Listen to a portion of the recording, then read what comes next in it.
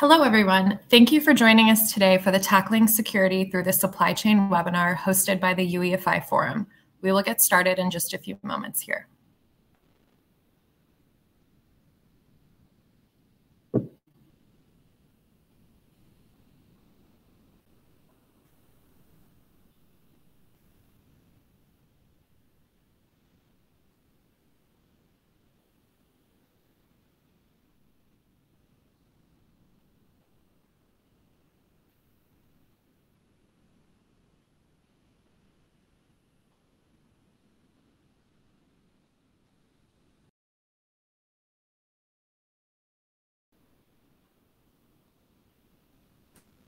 Thank you for joining the Tackling Security Through the Supply Chain webinar as part of, part of the UEFI 2022 Virtual Summit. I'd like to take a minute to introduce our speakers this morning. We're joined by Tim Lewis, CTO, Insyde Software, and Alex Matrosov, CEO, Binarly. And from there, I'll pass it off to the presenters. Hey, good morning. My name is Tim Lewis. I'm CTO of Firmware uh, CTO of uh, Insyde Software, as you just heard. And today we want to talk about an important topic of firmware supply chain and how it affects firmware security. We're going to take some case studies and look at how supply chain failures have led to security failures in the firmware ecosystem. We're going to talk about different steps that you can take to bridge the gaps in the supply chain, and then we'll then we'll do some next steps Earlier this year, the US Department of Commerce and Homeland Security issued a statement talking about firmware security. They said, quote, firmware presents a large and ever expanding attack surface as the population of ele electronic devices grows. Securing the firmware layer is often overlooked, but it is a single point of failure in devices and is one of the stealthiest methods in which an attacker can compromise devices at scale. Over the past few years, hackers have increasingly targeted firmware to launch devastating attacks. This is true not only, uh, this is certainly true within the UEFI firmware ecosystem. That's what we want to talk about today. Now, there are two large questions we want to look at, which is how at each stage of the firmware supply chain does each stage know that what they have received has not been tampered with? And secondly, how does each stage know if a security disclosure applies to what they've received? So if you read the read a news, you read an email, you get a security bulletin, how do you know if your firmware is involved? And as you can see in the diagram on the right, there are several different stages that firmware goes through from the time it, uh, it's originally written till the time it reaches the end user.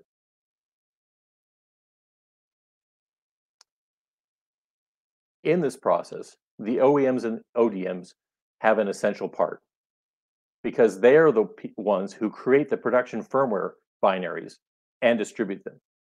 They, they are the last ones to see all of the different firmware ingredients before they're actually put down on the motherboard. And when a security fix comes along, they're the ones who usually have to make sure that that security fix gets integrated, that it's put down and, and tested on the particular hardware that they ship, and then they distribute it to their to the users or the, to their customers. And if that process breaks down it can cause a lot of problems. Each of the places that are black arrows on this diagram are places where something can go wrong. Something someone uh, it could get halted it could get stopped it could inter, interjection from a, a malware actor. So we want to make sure that each step we make it secure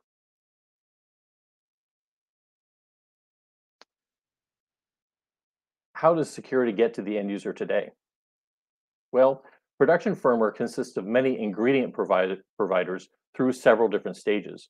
Starting at the left side of this diagram, you can see open source pieces, third-party software, and silicon vendors. Then it's usually taken in by a BIOS vendor who themselves have several teams that are going to work on the on the, the code, handing off from the kernel team, the chipset team, the OEM feature team, which carry, helps OEMs carry features from generation to generation of their products, and the OEM team that helps the OEM put it on the on the motherboard. Then it goes to the ODM. The ODM may do some modifications of their own. They often do to make manufacturing easier. The OEM is going to put their final stamp with their special features on there. The value-added reseller, who themselves may use binary tools that are provided by the BIOS vendor to make changes and prepare it for their particular market that they're selling to. The IT department that's going to prepare the system for deployment within the enterprise and all the software that they use. And finally, it reaches the end user. Firmware ingredients are received from the previous stage, possibly modified and combined, and then passed to the next stage.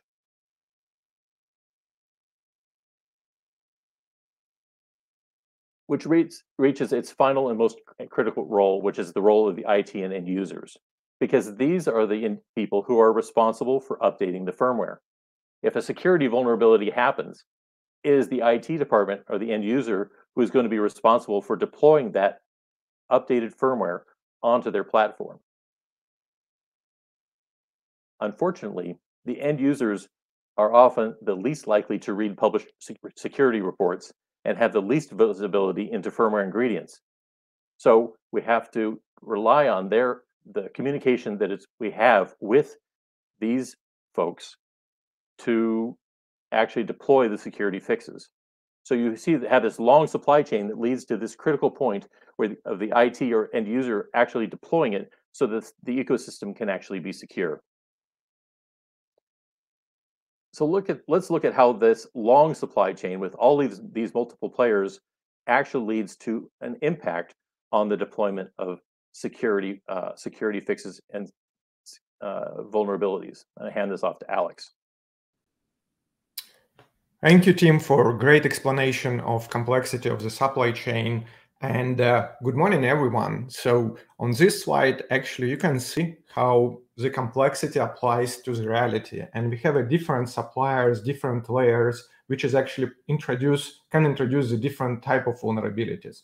And also because of this complexity and also asynchronous uh, nature of update cycles from the different vendors and different parties involved in supply chain, it can introduce different type of vulnerabilities. And someday, some, sometime end day vulnerabilities can actually stay for very long timeline as a zero days for some of the vendors. And it's create actually a huge impact to the end customer. And also another problem when, as example, in your supply chain, different layers can introduce a different uh, exploitation primitive or triggers, which will be not actually vulnerable by itself, but if combining them to the chain, it can provide to the attacker the possibility to get a successful attack on the device.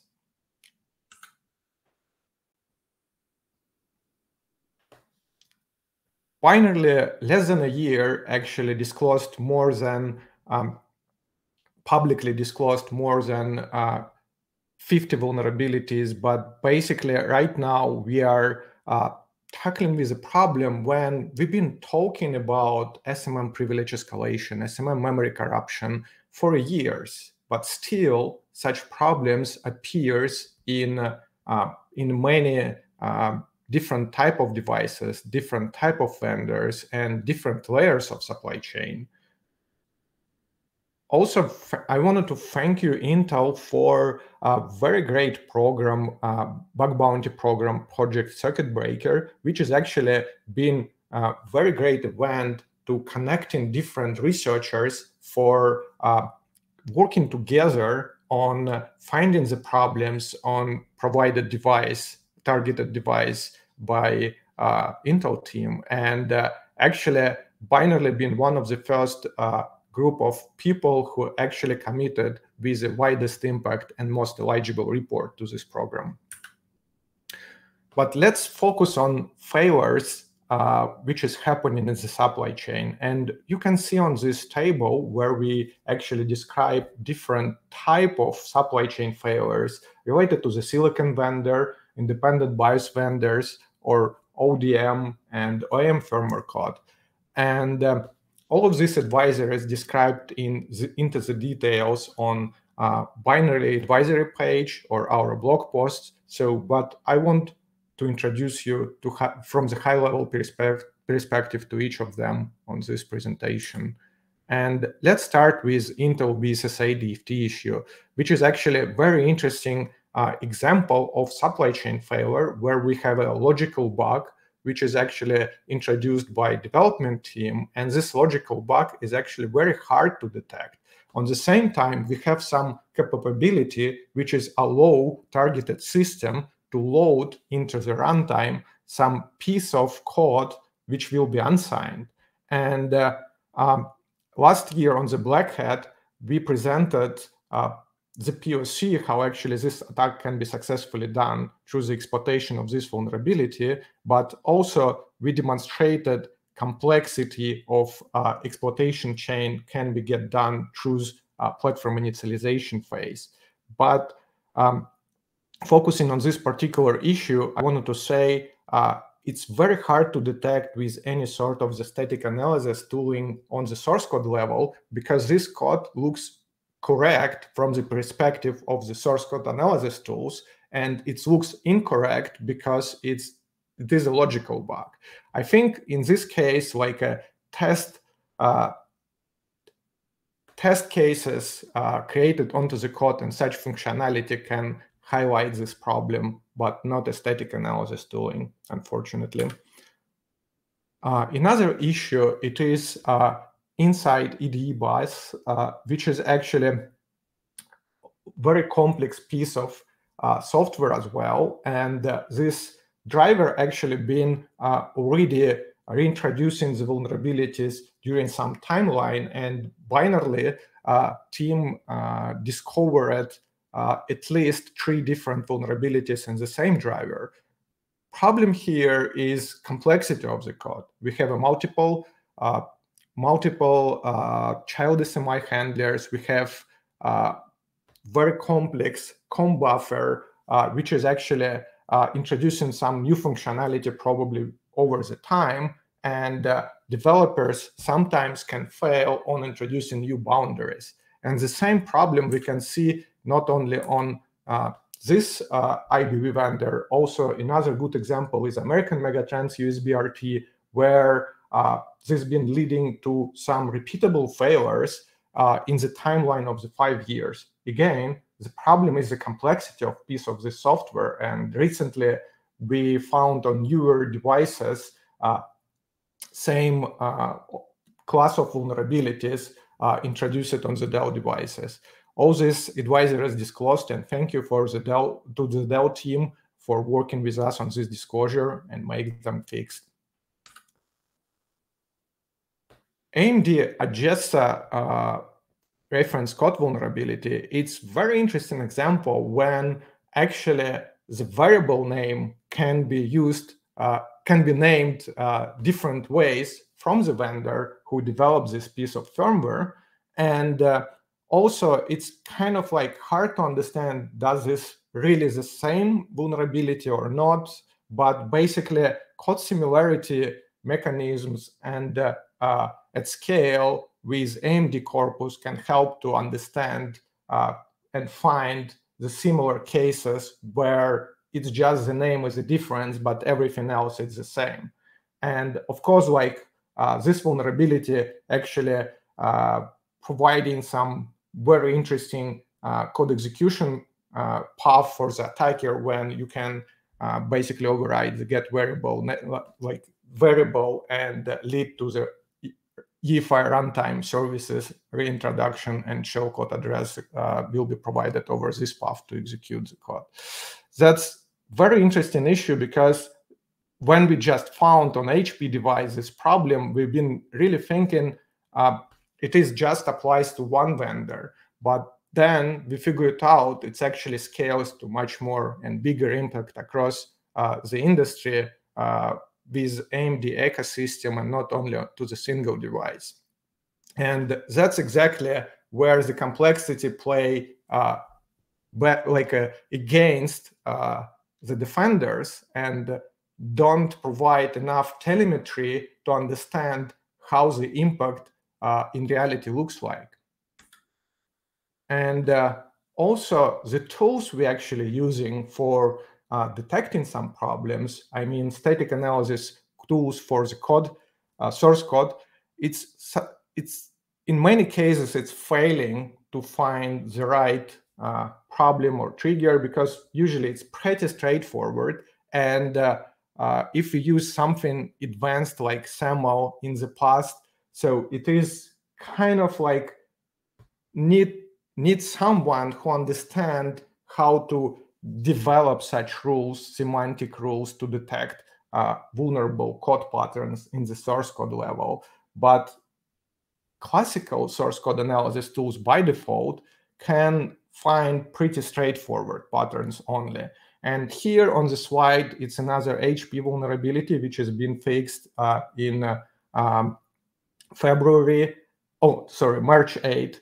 And uh, uh thank you for HP team, first of all, for uh, fixing all the vulnerabilities and collaborating on coordinated disclosure. Uh, but secondly, we actually sent another vulnerability to HP, uh, which we called Binarly 2021-47. But for us, it's been looks a bit different. But at the end, we realized it's the same vulnerability. Why it's not get a CVE because it's been actually fixed with uh, 2021-40. But uh, why I have two screenshots here a timeline for different product lines being different. And if you look, the code is also looks a bit different. It's the compiled code from the binary and uh, uh, reconstructed by Hex-Rays decompiler. So basically, the main difference it is use a different PCD value. But as example, if if you will be using the source code analysis tool for finding this straightforward pattern, uh, it will be failed because PCD value are different. And uh, this is just one of the examples where uh, in reality we have as example some timeline when the similar issues can appear on the different devices even from the same vendor another uh, interesting interesting case it is actually dependency graph limitation when basically we have uh, library code in this case we have EDK2 piece of uh, code introduced in security package where it's actually introducing the classical callout vulnerability, uh, which is can be can lead to the arbitrary code execution if it will be available in runtime, of course. We found this uh, vulnerability on Intel M15 and been working with Intel PSIRT when we realized this uh, particular code, it's not available actually in Intel M15 device in runtime. It's been compiled to the binary by some of the mistakes or like using like some old code for uh, code base from EDK, but it's not being present in runtime because it's been not loaded at the time when, as example, uh, uh, later stages of the boot when operating system boots or basically the attacker have an ability to exploit this vulnerability from EFI shell or some other directions. But interestingly, this uh, vulnerable application being called trusted device setup app. Um, anyway, uh, such problem actually in this particular device is not exploitable, but it can be exploitable on some other devices. And basically, the same vulnerable code pattern can be actually legit vulnerability and uh, lead to the uh, code execution in a SMI handler uh, in the reality, but with a different vendor. So uh, this particular problem actually also shows some limitations of our uh, SBOM uh, concept right now, because if we have the library, but library will be looks like not vulnerable or don't have like a, attached uh, CPEs or vulnerability description identification numbers, it will be not trigger the red flag, basically that will be compiled in our supply chain and can stay for years there. It's exactly what particularly can happen with this uh, vulnerability failure. And uh, the last one uh, for failures, uh, but not least for this presentation, uh, so it is uh, compilers generated artifacts. And this particular slide, it shows very interesting problem where we can have like we creating some sanitization boundaries for the COM buffer. Problem here, after the code get compiled, compiler thinks differently than a developer and use not a dynamic size uh, validation, it's just use particular uh, size of the buffer, which is actually make uh, these boundaries and sanitization uh, bigger and can potentially lead to vulnerability, exploitable vulnerability, and uh, create some problems which will be which is not visible on the source code level because this exactly uh, goes after the compiler. And it shows why we need to pay much more attention to the binary analysis and look what exactly we are shipping to the customers and not only analyze the source code Thanks? Alex. Yep. Thanks, yep. Alex. So you can see that there's a number of different uh, problems that happen because of the different hands which handled all of the different code along the way. It makes uh, both understanding the where the issue first started, whether it was in some precompiled library or binary, and also um, what how it got handed from person to person and the changes were introduced. So you want to know if you want to bridge the supply chain securely, you want to know what in firmware ingredients does each product have that's an important list because then you will be able to find out if these ingredients are then correlated to some uh, disclosure, some CVE, uh, which because you want to know which firmware ingredients have a known vulnerability. Have the firmware ingredients been tampered with? That is, has someone modified them um, along the way that you didn't realize? You thought you were receiving X and you actually were or receiving Y. And finally, do users know how to update their product? that's a big challenge for OEMs and, and ODMs. There are a lot of tools that are available for firmware security. Um, and this slide just lists them in summary, all the way from uh, you know dealing with the supply chain, knowing that about the pedigree and tamper status of source code and pre-built binaries that you've received.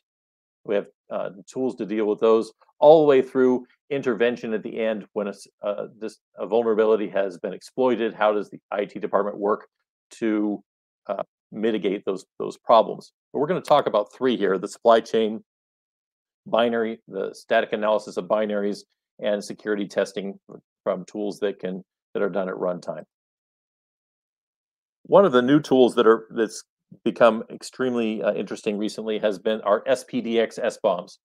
Now, SPDX SBOMs are one type of SBOM. There's another, there are others, but they this focuses on the transmission of source ingredients before creating the production firmware binaries. The SPDX SBOMs help OEMs and ODMs to track the origin and licenses of ingredient source code and binaries, to identify whether the ingredients have been modified stage to stage, and to know if product contains ingredients which with reported known vulnerabilities. And this is important, especially for things like libraries, because many times libraries are used in a pre-compiled form. Um, their, their libraries are included into a final driver, a, a PEIM or a DXE driver, SMM driver, and you don't ever, they never really, uh, you don't really know necessarily by looking at the binary that the uh, it contains a library that might have a vulnerability. So SPDXs help us to track that information across uh, the product as it goes through its lifeline. So currently, Tiano Core tags all files with SPDX license identifier to help uh, automation. This allows uh, tools uh, and tool chains to flow through, gather, have all the information that they need in order to create SPDX files for a given uh, source drop. And also there are red, tools readily available, open source tools for managing SPDX files, creating them. I, I list the ones for Python here, but there are ones for Java and, and other uh, programming languages as well to be able to create uh, SPDX files from your source trees and uh, generate a file that you can then use and use to verify that nothing's changed. Another type of SBOM that's increasingly uh, generated interest in the industry are uh, SWID SBOMs or SWID S bombs. And these really are used and they're focused on the identity of production firmware binaries. Uh, SWID SBOMs help IT and end users to inventory firmware on the platform, uh, whether executables and blobs, and also to check for security disclosures reported that affect that firmware. That is, you can match CVEs, you potentially could match CVEs against the, the hashes or the identity of those uh, those drivers or executables and see whether you've got you're affected or not. So UEFI firmware currently can retrieve attached firmware information using DMTF's SPDM uh, protocol. That is, you can go ask other uh, about other firmware on the device. You can also validate the firmware measurements against golden values. That is, if you know what the value should be and you see that it's changed, you can uh, use that as a root of trust sort of uh, measurement. And you can also record the measurements and the identifiers in the TCG event log. In fact, there was a great presentation given on a virtual uh, UEFI seminar back in December called Traceable Firmware Bill of Materials Overview that talks about this exact topic. And since that time, uh, the LV, LF, LVFS project and this project called Python USWID have come out with uh, tools attempting to see how we might integrate this process into uh, UEFI firmware as a way of integrating these kind of SBOMs directly into the binary image. We also have some further security tools. Um, of course, we've mentioned Intel's ChipSec has been around for a while. Uh, it's an open source thing, uh, project that checks uh, can check both uh, chipset registers, but also registers from other industry standards like TCG to check the running configuration for vulnerable settings. In addition, other open source tools are Binarly's EFI Explorer, uh, which help, helps break down uh, UEFI binaries into their component pieces and lets you analyze them, helps the analysis of them to find out what's really there. And then Binarly's FW Hunt, which is a tool which applies rules to a given binary to see if many of the known vulnerabilities that have been reported recently are actually present in that binary. The, the rules uh, uh, are do well documented. You can also you could create your own rules as well, but they help check BIOS binaries for known bad code patterns. Then let Alex talk about a couple of these these tools, which are quite interesting. Thank you, Tim. Yes, and uh, looking on the binary code, it's very important, as I mentioned before uh, on vulnerability uh, slides. And uh, also, we created EFI Explorer uh, exactly by the reason we didn't find any good solution for verifying the binary uh, researching the binaries. Uh, and actually, this is a plugin for IDA Pro. And as example, like easily you can look what kind of uh, NVRAM variables is actually introduced on the full firmware image, not just a single um, UEFI driver. Uh, basically, uh, you can load to the IDA Pro the whole firmware image and see a lot of details and build the dependencies. And also we have some uh, generic vulnerability detection things related to the callouts and get variable misuse, which is very helpful and uh, helping actually to fix the supply chain to find these repeatable failures and actually uh, don't repeat such of uh, similar vulnerability patterns again and again. So uh, regarding the firmware hunt, uh, this approach been developed because we don't see the right solution for finding uh, the vulnerability patterns. And actually, if we're using as example the solutions like Yara, which has been creating more for detecting like malicious triggers or some artifacts, IOCs for uh, malicious code, it's not very suitable when you have vulnerability trigger in multiple uh, different functions or multiple uh, pieces of the code which is not really uh, combined in few basic blocks uh, from near each other. So basically, it will be cause like very opaque way for generating the Yara rule for the detection, which is hard to debug, hard to understand, and actually leads to a lot of false positives. Uh, our way it's actually use the semantic annotations for for the code to create more feasible way to detect uh, such of the problems. As example, one of these rules, it is actually USB RT issue, which has been mentioned before and recently disclosed with the Dell teams. And uh, uh, all our uh, uh, disclosures lead uh, for firmware hunt rules, and it's provided for free. Just help the industry and fix the supply chain and actually scale the detection with our community scanner.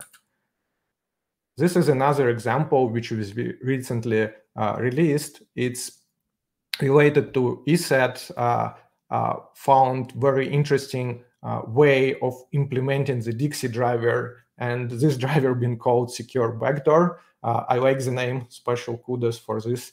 And um, also, we um, start thinking how we can improve the firmware hunt and new upcoming release will be introduced the variants when basically you can find not only one vulnerability, you can find the different variants of the same vulnerability with a single rule, which will be make much more powerful and much more useful the tool, and it's already is. So this works very fast on the whole firmware image and detect, uh, as example, like 10 rules get uh, triggered on this particular uh, firmware image. Right. So there's been a lot of stuff here, but it's important for OEMs and ODMs uh, that you start to take steps now to find the ingredients that make up your firmware and keep track of them, to be aware of what's in them so that you can handle uh, security disclosures that are coming down. Um, sometimes it, if the faster that the OEMs and ODMs can respond, the faster that these issues can be fixed uh, all the way down to the end user. For IT and end users, it's also important to find out how you can be notified about vulnerabilities in your firmware and its ingredients. Even if you have the even if you have the full source code, um, you even if you or you don't, you need to know what is the way that I'm going to find out about these disclosures. Make sure you check out. Um, you know, some some computers have a a little app that pops up if there's a new UEFI firm, a firmware update. Sometimes there's you need to read the notifications and the emails. But at any stage of the supply chain, use the tools to simplify vulnerability tracking on your platforms. This is a big area. I think you're seeing a lot of investment, uh, and over the next uh, over the next six months to a year, two years, you'll probably see a lot of improvements in this area. But right now, it's important that you start thinking about what's in your platform, what ingredients in your platform, and how do you know if they are the ones that have vulnerabilities. Thank you. And now we're up there for questions. So our first question is, are all of the OEM security vulnerabilities disclosed specific to just that OEM or are other OEMs also affected? I think the ones that we talked about in this one were um, they were just that OEM. They weren't they weren't applicable. Some of them were applicable across the board, but some of the most of them were just to that OEM, right? Alex? Yeah, I think like uh, uh, silicon vendor issues when it comes down to the reference code, it's actually can uh, can be a affect uh, the whole product lines on based on this uh, particular reference code base, and sometimes even worse, uh, and it can affect multiple generation of firmware because it's some some sort of like a baseline code which is broadly used and um, yeah, I think uh, we covered some of the examples with the silicon vendors, independent BIOS developers, which is actually can can can affect not a single vendor, it can affect multiple vendor with the same vulnerability. But it really depends. Sometimes even like uh, IBV code or reference code can be changed and make an issue not exploitable or not use this particular feature because it get removed by the vendor. So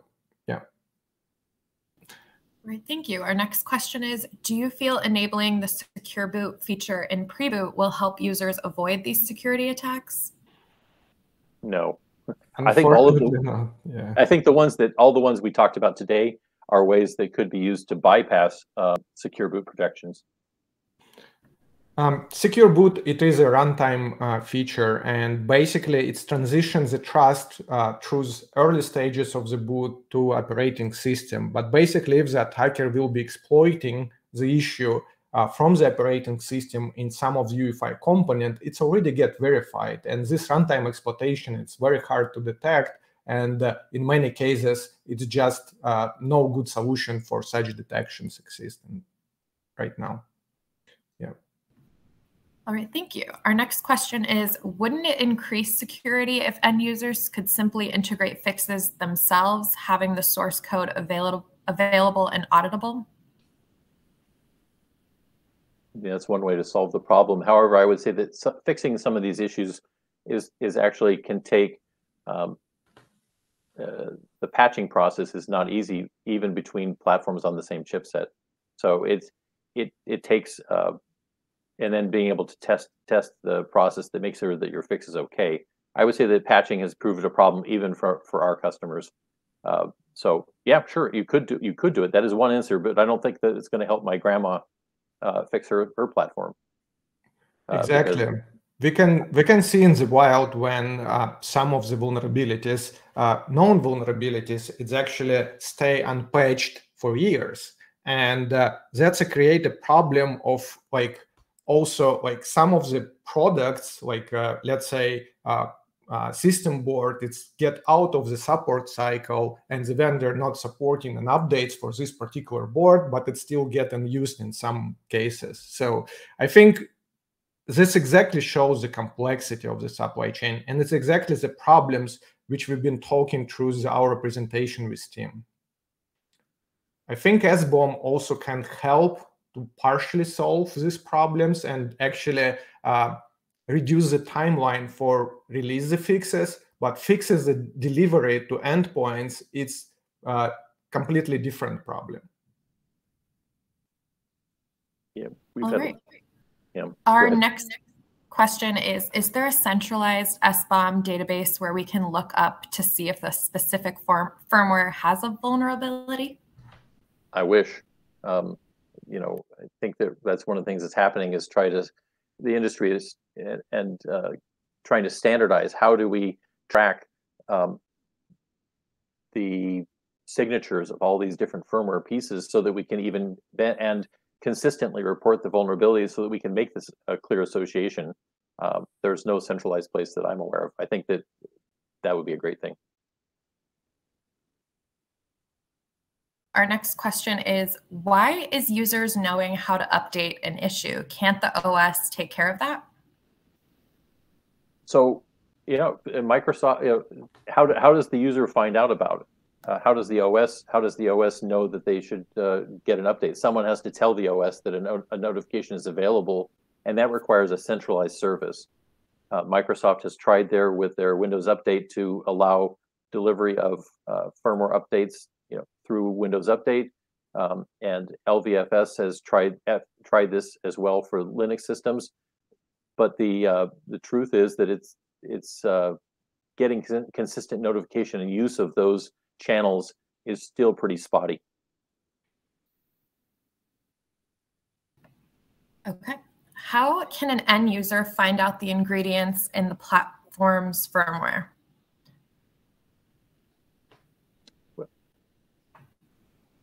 Um, you can find out. I think Alex showed it with IEFI yeah. Explorer, right? Yeah, so actually, uh, it depends what kind of ingredients, but basically, like dependencies and building some sort of visibility on uh, the code level, it can be done with EFI Explorer, or if you want to scan your firmware for known vulnerabilities, Firmware Hunt actually very suitable for that.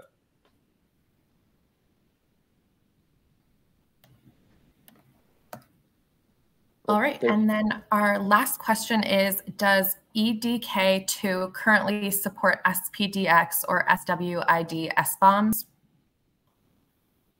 Um, it doesn't doesn't uh, have a way of packaging them right now, as far as I'm aware. I know there's been some initiatives to try and add SWID SBOMs to EDK2 um, from the LVFS folks, and so I hope that they, you know, we can get some standardization about how to do that. But so far, EDK2 does not does not do that. All right, so that was actually our last question for today. We'll be moving over to WebEx for a more live and interactive Q&A discussion. If you have any more questions, please join us over on WebEx. The information is displayed on your screen right now and in an announcement on BrightTalk. The presentation slides for this presentation will also be available on the UEFI Forum website, and the webinar recording will be available on demand on the UEFI Forum YouTube channel and our BrightTalk channel. Thank you for attending Tackling Security Through the Supply Chain.